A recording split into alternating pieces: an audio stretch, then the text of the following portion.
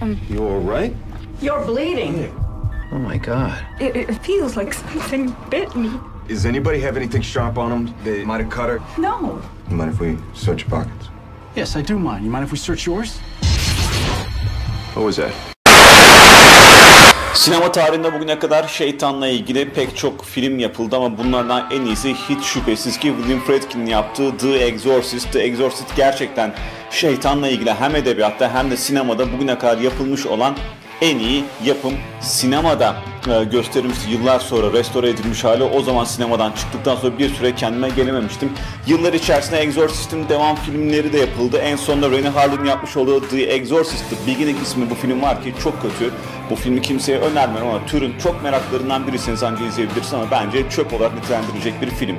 Başka yapımlar var. Örneğin e, Evil Dead var. Şeytanın Ölüsü olarak Türkçe'ye çevrilmişti. Sam Raimi'nin yapmış olduğu film. Kötü mü iyi mi tartışmaları hala yapılır ama bir anlamda kült oldu.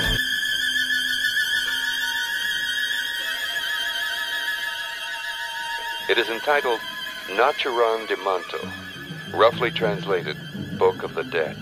Bugün sizlere bahsetmek istediğim film ise 2010 yapım bir film. Adı Devil. Devil biliyorsunuz şeytan demek ve şeytan üzerine bir film.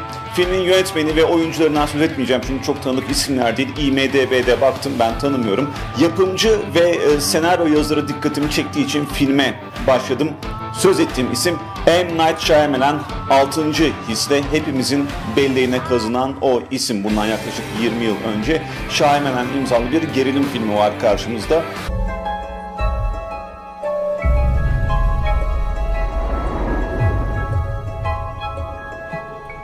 Hold that? Sorry. Thanks for your help. Don't mention it. Amerika Birleşik Devletleri'ndeki herhangi bir şehirdeki herhangi bir iş merkezindeki bir asansör filmin odak noktası. Bu asansörde 5 kişi mahsur kalıyor üst katlara doğru ilerlerken 5 kişi mahsur kalıyor ve bu 5 kişiden biri bir elektrik kesinti sırasında ışıkların karardığı bir anda ölüyor. Kim öldürdüğü belli değil ve bu ölümler yavaş yavaş e, filmde kendisine yer bulmaya başlıyor. Bu sırada filmin ana karakteri de iş merkezinin etrafında dolaşan bir polis. Tahmin edersiniz ki her Amerikan filminde olduğu gibi olayları çözmesi için bir polis dedektifi de olay yerinde bulunuyor ve oraya geliyor. Ondan sonra konu hızla ilerlemeye başlıyor. Hitchcock tarzı bir gerilim karşımızdaki 5 kişi asansörün içerisinde acaba kim öldü, kim öldürdü, içlerinden hangisi katil sorusunu e, düşünürken şeytan konusu gündeme geliyor. Acaba içlerinden biri şeytan mı diye düşünülüyor ve bu olasılık dile getiriliyor. Ve ondan sonra olaylar çok hızlı ilerliyor. Bir buçuk saatlik bir filmden söz ediyoruz. Bir buçuk saat içerisinde olaylar çok hızlı ilerliyor. Eğer final sahnesi daha başarılı çekilmiş olsaydı e, güzel bir fikir var aslında ama kötü çekilmiş bir final sahnesi var. Eğer daha başarılı olsaydı bir gerilim sineması klasiğinden bahsediyor olabilirdik bu noktada ama hayır bir klasik değil çok iyi bir film. IMDB'deki puan da gayet yüksek. 7'ye yakın bir puanı var. Gayet yüksek. Keyifle izliyorsunuz. Sondaki fikir de güzel ve keyifle filmin başından kalkıyorsunuz.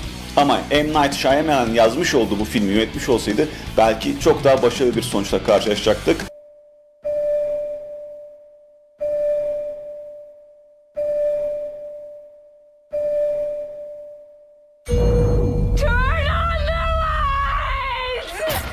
Son zamanlarda iyi bir gerilim filmi izlemedim diyorsanız ben bu filmi kesinlikle sizlere öneriyorum.